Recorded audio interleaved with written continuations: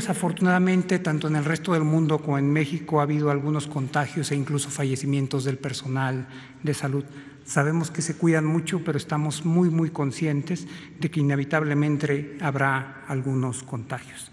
Y es en este contexto que la Asociación Mexicana de Instituciones de Salud ofrecerá un apoyo solidario al personal médico que trabaja eh, y a los trabajadores eh, que, están en los hospitales, en los hospitales COVID.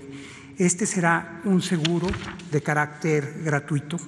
Eh, podemos y agradecemos el gesto de, la AMIS, este, este pro, producto que se llamará el Seguro Personal de Salud del sector salud ante la contingencia de COVID-19 cubrirá a todo el personal del sector que está trabajando en estos tipos de hospitales y lo cubrirá no solamente a partir de hoy que se hace el anuncio, sino que lo cubrirá de manera retroactiva, algo muy inusual en el, sector,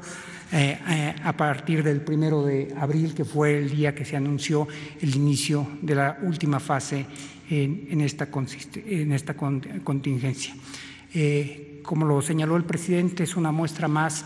del reconocimiento que los distintos sectores de la sociedad mexicana tienen al esfuerzo de los trabajadores de salud.